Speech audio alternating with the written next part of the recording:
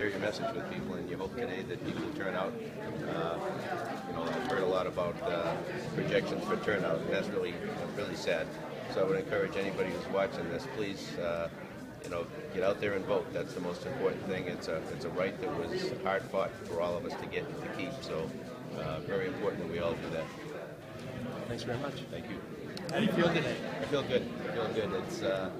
I feel like I've left everything on the field. Been around the county, talked to as many people as I could, tried to get my message out there, and, and today it, it all comes together. And hopefully, people will come out to the polls and vote, and uh, it will be successful. Great.